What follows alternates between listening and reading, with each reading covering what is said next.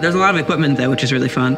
I get to mess around with electron microscopes and you know, a lot of X-ray stuff.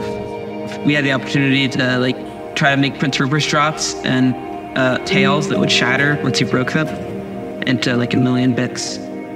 As soon as the it cools, the whole thing the the, the tail is in tension and the, the drop is in compression. So uh, once you break off the tail, uh, like the, all the glass wants to fly out, and it basically makes a chain reaction all the way down to the to the big drop. We got to see uh, individual atoms on the TEM, and that was really fun. It takes a long time, but you know it's so useful because all the people here really know what they're doing. We got to see like most of the engineering and art. It's a nice campus. Like it, it's nice. The most most of the professors are really nice.